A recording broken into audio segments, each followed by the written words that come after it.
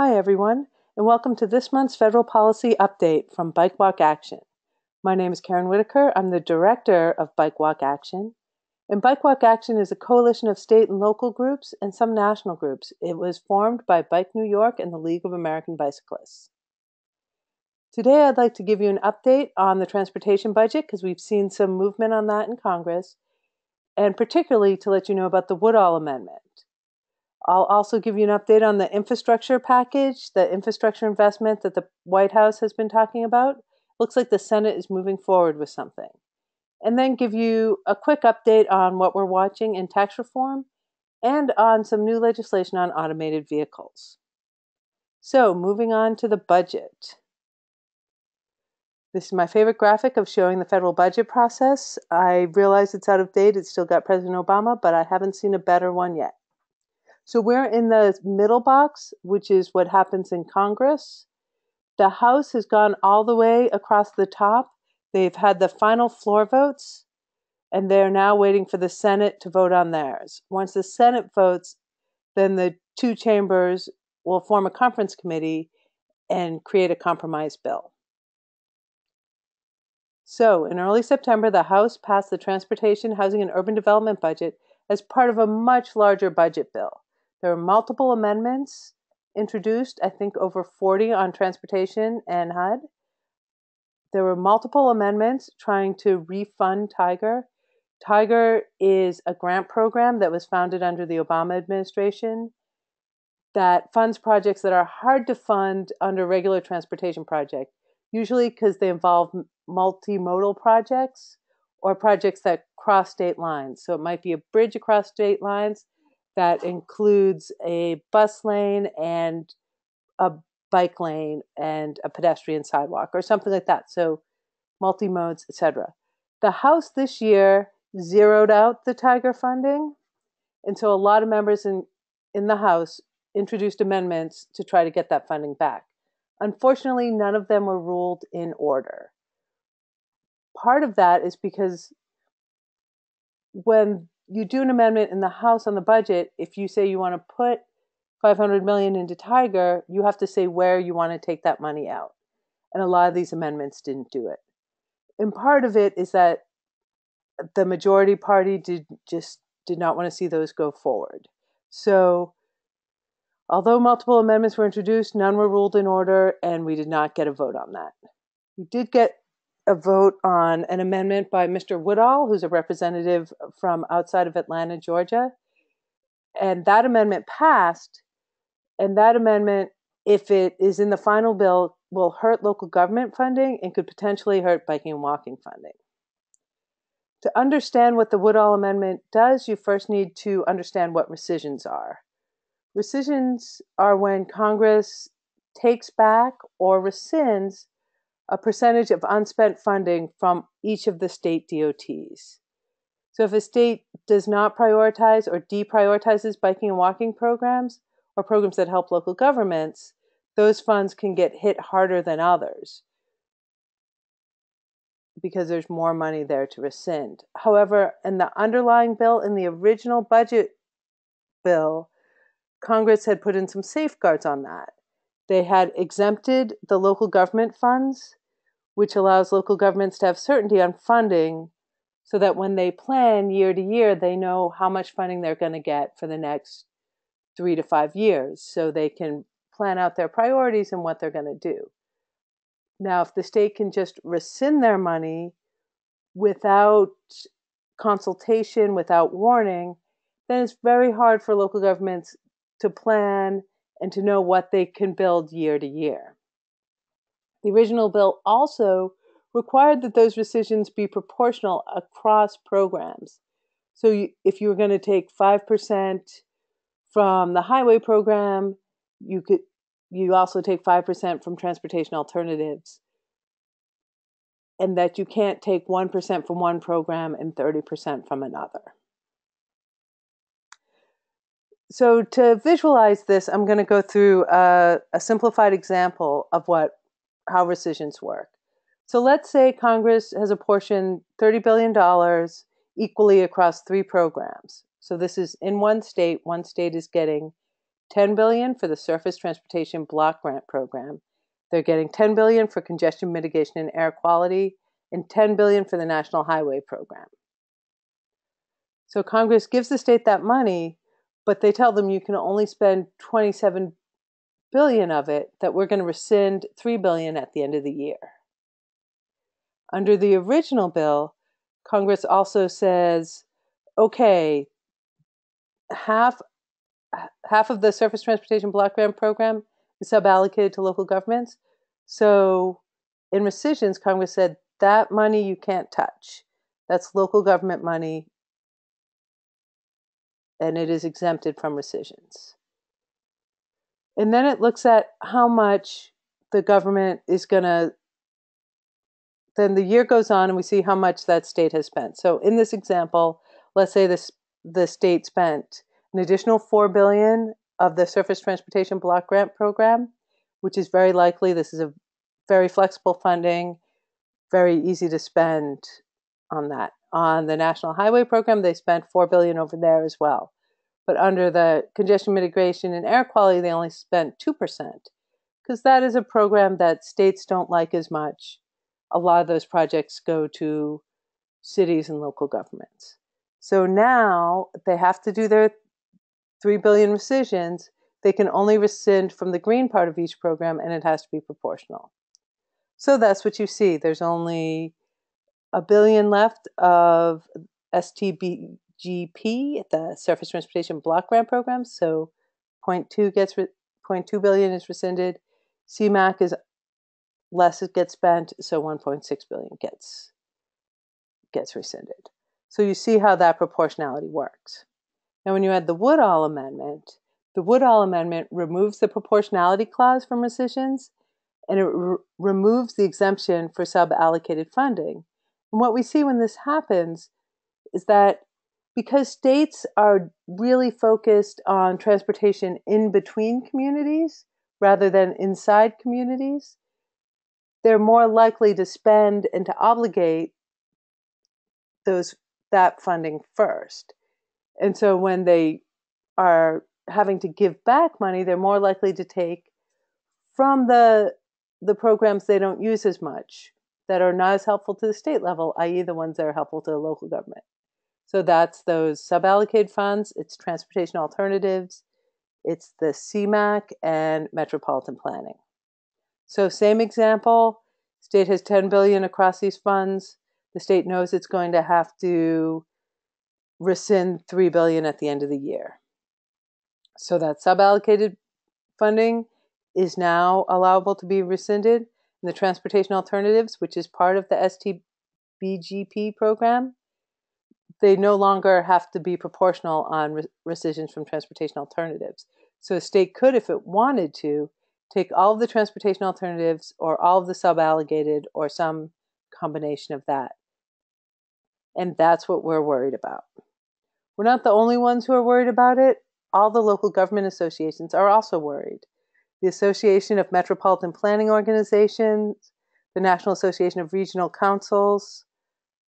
Um, those are programs that work on the MPO funding level, Metropolitan Planning Organization level, but also the League of Cities, which is smaller cities, the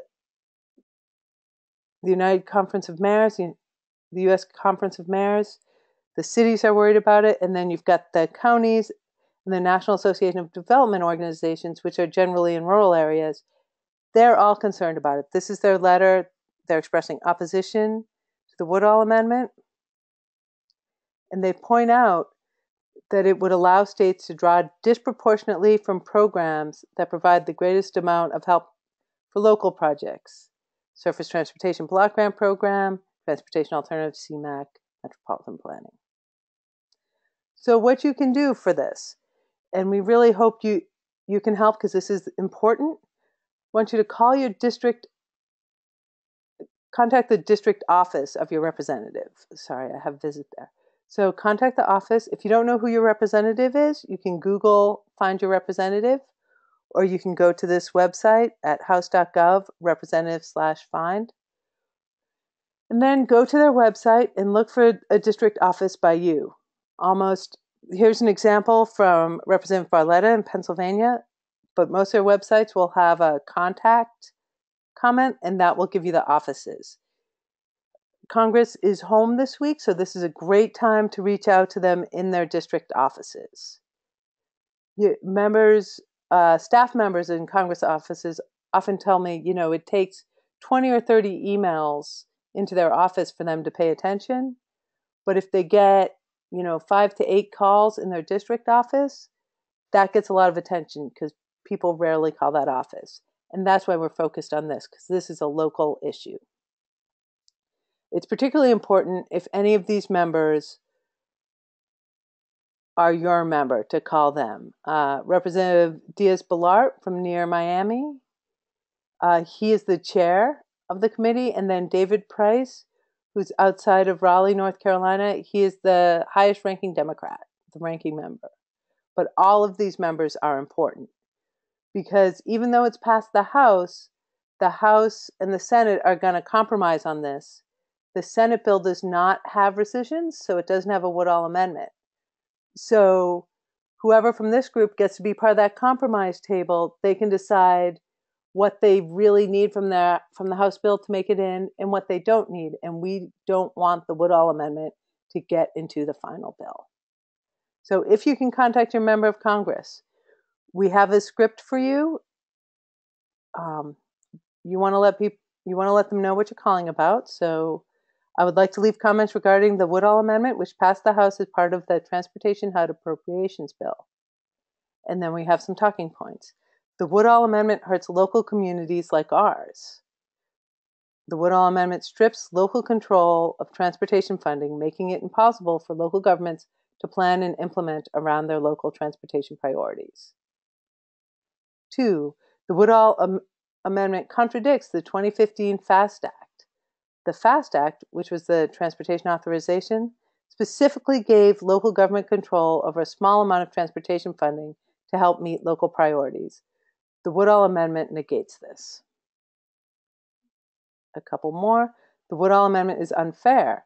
It allows states to take local funding to pay rescissions. Wouldn't we all like to pay our rent or mortgage with someone else's money, right? And then this is a final one. Our community deserves to plan for our own priorities. And then if you can think of a local transportation priority in your community, talk about that. And say that our that the region needs certainty to be able to build projects like that. And the final ask is please don't let the Woodall Amendment move forward. Please do not let the Woodall Amendment be included in the final budget for 2018. Now, the appropriators could be on that conference committee with the Senate. Other members are not, but they can help by talking to appropriators and expressing their concerns. So, you have all this in the email. In the presentation, we'll also send it via email. Just so you know, the state budget does not have rescissions, so they can't have a Woodall amendment. We're expecting the Senate to vote on their budget in late October. Um, we do not at this point expect to see any amendments specific to biking and walking, but if we do, we'll make sure to report on them.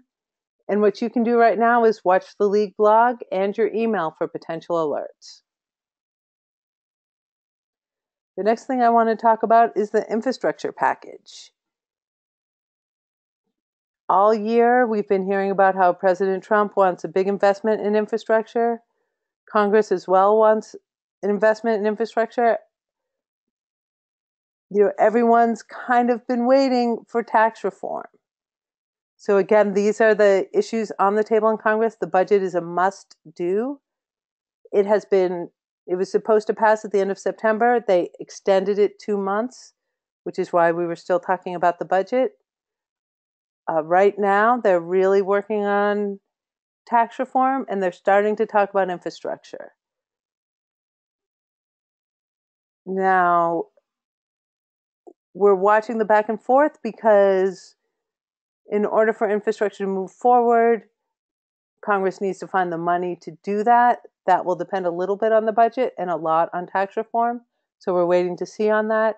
But Congress keeps talking about an infrastructure bill as something they want to pass that they can bring home to the voters for next year's elections. So the Senate has already started to move forward. They want to put their imprint on whatever this infrastructure package is. Chairman Barrasso on the top, he is the Republican chairman of the committee. He's expected to introduce an infrastructure bill in the next few weeks. On the bottom, you have the ranking member, Democrat Tom Carper from Delaware. Right now, the bill that Chairman Barrasso is expected to introduce is not bipartisan, but they're talking and they're trying to figure out what can happen to make this a bipartisan bill. We're expecting it to be $25 billion over five years, so it extends the FAST Act for a few years and then adds, I think, $5 billion each year, which seems like a lot of money when you talk about 5 billion, but the transportation bill right now is 52 billion, so it's an increase of about 5%. We also expect it to really focus on streamlining environmental regulations and getting things through the permitting process. And that's one of the rubs that's keeping it from being too bipartisan on what you can expect in the next couple months. Uh, if the bill becomes bipartisan, it has a much better chance of moving forward. Any infrastructure package that passes is going to need 60 votes in the Senate, so it will need Democrats. So if it's bipartisan, then we really, if we hear it's going to be bipartisan, we really want to work with our allies on both sides of the aisle to to make the bill stronger, to improve transportation alternatives. And we're also talking about an amendment that offers incentives for states to address speed and, and slow down, lower the speed limit in municipalities. If it's not bipartisan, then the bill has little to no chance of becoming law. And so if that happens, then we, will still do amendments, but we may do bigger amendments. We may ask for larger things to just put a marker out there like these are the things we care about. This is what we want to go forward. The timeline on that is we expect the bill there's some talk that the bill will be released this week but maybe in late october but when it happens it happens fast. Once usually staff members of the committee the members and the staff of the committee they have a little time to look at it before it becomes public but once it becomes public, they can vote on it and hold the amendment process within the committee within three days. And so this works really fast. That's when advocates like Bike Walk Action, we get in there, we suggest amendments, we work with allies to come up with them. We try to build support, and it's this crazy busy period. And then the committee marks up the bill, which means that's when they have amendments and they if they pass it out of committee, they may push it to the floor. So again, there could be a lot happening in the Senate in the next couple weeks. So please follow the blog, watch for your emails.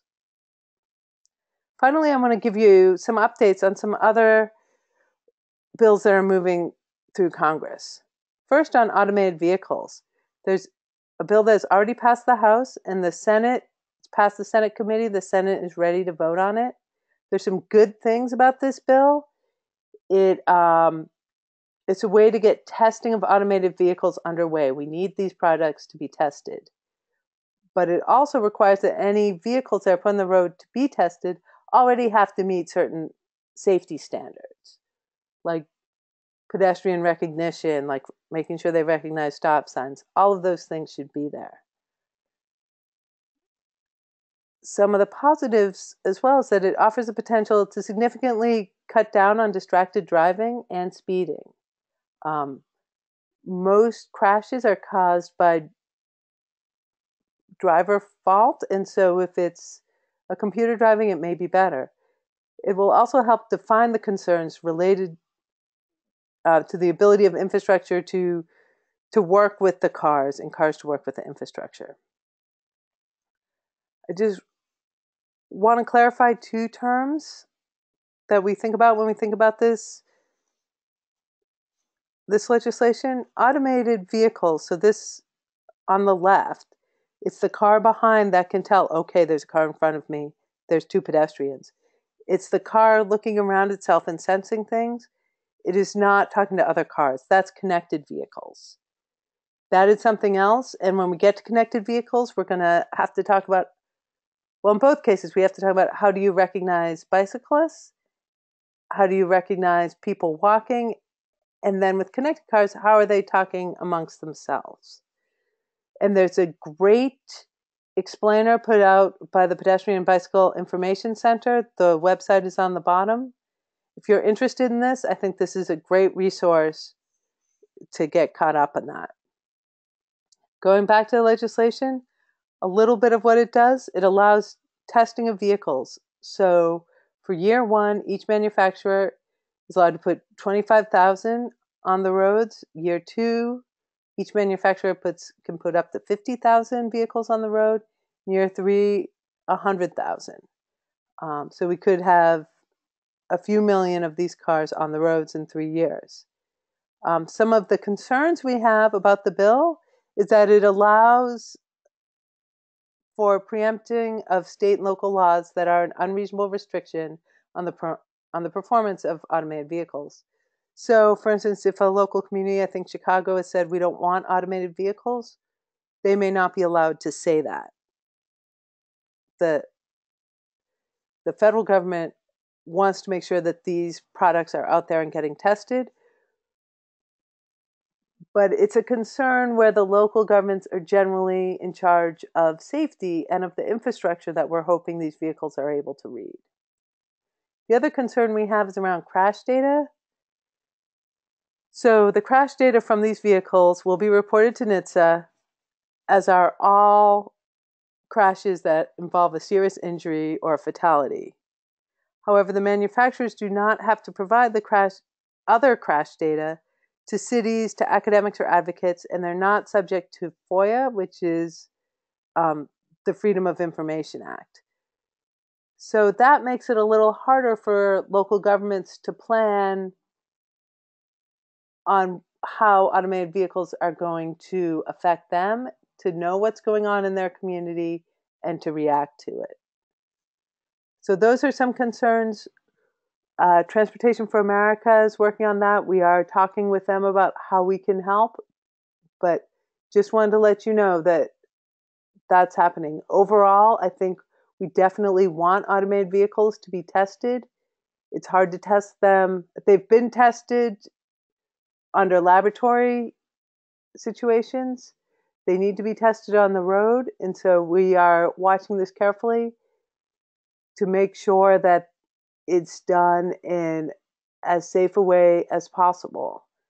And hopefully that that information can then be shared and used both for infrastructure and for safety transportation laws. Also, on tax reform, Congress has moved a baby step uh, closer to doing tax reform, in that we've heard that they're passing a budget resolution. So there's two things that we're talking about. The actual appropriations, the amounts of money that go to each program that I was talking about at the beginning of the webinar, that's the appropriations process that has passed, or it's passed the House. Um, the budget resolution is where you put in the rules for the budget and you also think long term. So the budget looks at 10 years down the line. But it also is where you can put in instructions for budget reconciliation, which is the process for which the Senate can pass a few things that are deficit neutral uh, with only 50 votes. And that's what they're trying to do for tax reform. So the Senate passed it a week ago or so. The Senate is getting ready to vote on that.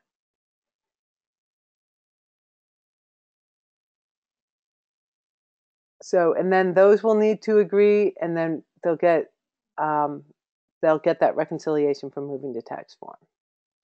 What we're watching on tax form, one, we are looking for funding for transportation or for an infrastructure package that is becoming increasingly unlikely because we saw in the tax reform package that came out that was worked on by the big six people from the White House, people from the House, people from the Senate. that doesn't include new funds for transportation. In fact, it shows a significant decrease in funds for transportation. So it's a little bit confusing and contradictory to the idea of an infrastructure package.